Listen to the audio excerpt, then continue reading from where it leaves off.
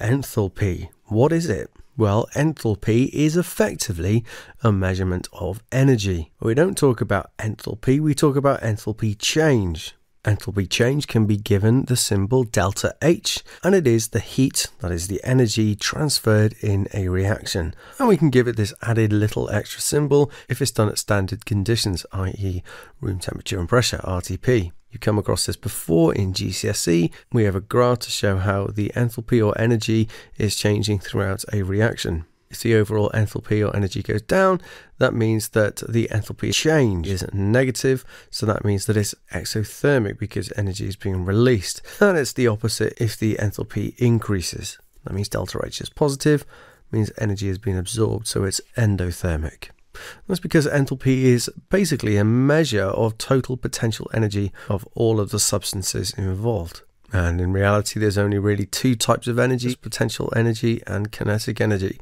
So if potential energy goes down, that means kinetic energy must go up. Therefore, the temperature will have increased. Now, yes, we can talk about the overall enthalpy change in a reaction, but it's useful to think about the enthalpy changes for each individual step that is happening during a reaction.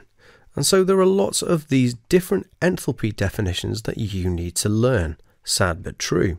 I'm going to write these all as sort of shorthand, but you'll need to be able to recall these and write these down as the full definitions. And all of these go for one mole. So, first one, enthalpy change of formation, very important one. This is the enthalpy change when a mole of a compound is formed from its elements in their standard state and standard conditions. Almost the opposite of that we have bond dissociation enthalpy. This is when all the same bonds in one mole of gas molecules are broken. For example, diatomic chlorine split into just the individual chlorine atoms.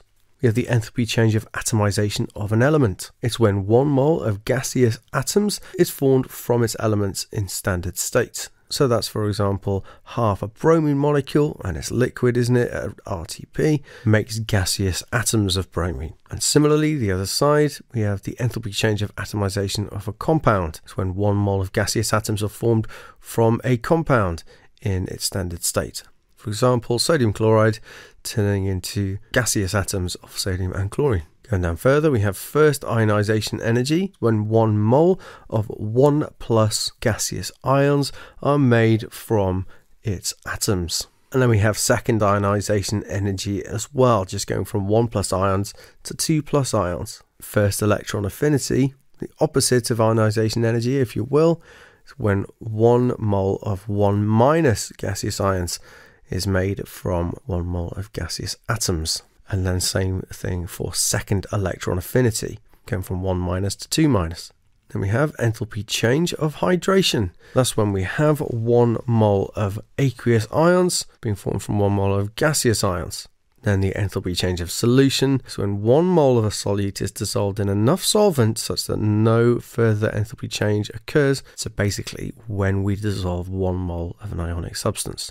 We have lattice enthalpy of formation when we have one mole of a solid ionic compound formed from its gaseous ions at RTP. Then we have the opposite of that, lattice enthalpy of dissociation, when one mole of a solid ionic compound is formed into its gaseous ions. So, like we said, lots of these take place, lots of these can take place in a single reaction. And we can picture that by drawing a diagram to represent a Born-Haber cycle. Now, Hess's law says that the total enthalpy change of a reaction is always the same, regardless of route taken. So that means that whenever we have a reaction, we know we're going to have a certain number of these things happening, but it doesn't matter in what order. We can use Born-Haber cycles to calculate lattice enthalpy change. Let's say that you're on a mountain ledge and you want to know how far it is to the ground directly, but well, let's say that it's too dangerous to go straight down, so you can't do that. However, there is a route. If you go up, then across, then down, and then down again, let's say. And if you went up 20 meters, but then dropped 8 meters and then another 25 meters, well, to reach the ground, that must mean you've descended 13 meters altogether. Your displacement is minus 13 meters. And so it's similar with a Born-Haber cycle. Let's have a look at this here. We have gaseous sodium ions and gaseous chlorine ions, and we want to know what's the enthalpy change when solid sodium chloride is formed from that. We can think about going directly, or we can go around the houses and go through different processes to find out that instead. So we always start off with the enthalpy change of formation. Now, if that happens to make solid sodium chloride, that means that we would have had sodium and half a chlorine gas molecule. So then how do we get from our Na solid and half chlorine gas all the way round to our ions? Well, first of all, we need to take into account our enthalpy change of atomization. So let's do that first for the chlorine. So that turns it just into Cl gas. And then we also need to do that for sodium to turn the sodium atoms into sodium gas. Okay, so we're nearly there. We've taken care of the states, and now we just need to turn them into their ions. Let's do sodium first because that is an enthalpy increase. So we do the enthalpy change of ionization. That takes us up to Na plus plus electron plus Cl gas. That is a positive enthalpy change. But then we need our Cl to make it Cl minus. This is a negative change. This is enthalpy of electron affinity. And so we go down and we've ended up at Na plus gas plus Cl minus gas. And that is where we started. So I'm going to label all these different delta H's. So if I'm looking for the lattice enthalpy change, then therefore I can say that delta H6 is equal to, well, we're going up first to the top through delta H5. We're going the opposite way to the arrow, so that's going to be minus delta H5. Then we're coming down the other side, down our three arrows, so that's minus all of those. Then to get to the bottom, it's actually following that blue arrow, so therefore it's just going to be plus that enthalpy change there. So let's say that we know all of these numbers. You've got to be careful with your positives and negatives.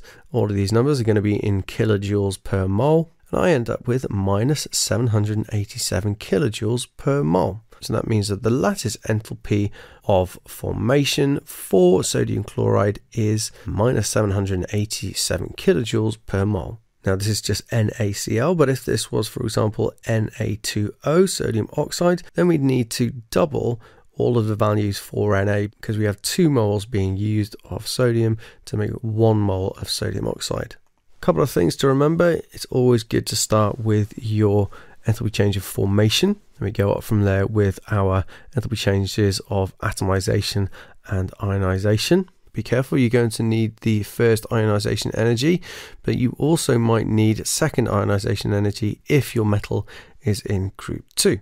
Same thing goes for electron affinity if your non-metal is in group 6. It's worth noting that yes, we can calculate this lattice enthalpy change, but that's only going to be true if our lattice is purely ionic, that is, spherical ions. That means that charge is distributed evenly around the ions. However, in reality, there's always going to be some covalent nature to the bonding in your lattice. That means the ions are slightly polarized. So we can compare the theoretical and the experimental values for this enthalpy change. And the closer they are, then that means the more ionic the bonding in the lattice is. Lastly, we have enthalpy of solution. We saw this in our definitions. And there's kind of two steps here when you dissolve an ionic lattice. First, all of the ionic bonds are broken, and then bonds are made between the ions and the water molecules surrounding them. Now, because water molecules are slightly polar, that means that our slightly positive ends will stick, will bond to the negative ion in our ionic compound, whereas the more negative end, at the oxygen, will bond to the positive ions. Now we can calculate the enthalpy change of solution using a Born-Haber cycle again but it's a lot simpler. Because we said there's two steps here, didn't we? Let's take sodium chloride again. Firstly, like we saw earlier, we can have our lattice enthalpy change. That's going to be a dissociation if we're turning it into our ions. And then to make them aqueous, well, that's going to be our enthalpy change of hydration. And so easy enough then we can say that the enthalpy change of solution is equal to the sum of these. So we just saw for sodium chloride that the lattice enthalpy change is 787 kilojoules per mole. It's going to be positive this time because, of course, we are splitting the ions up. And then let's say that we know we have the enthalpy change values for hydration for both sodium and chlorine. They're both negative. And so adding these up, we end up with a very small value of 17 kilojoules per mole. So this actually is going to be endothermic. So I hope you found that helpful. If you did, please leave a like. And if you have any questions or any suggestions, then you can put them in a comment down below or hop over to the Discord and put it there instead. See you next time.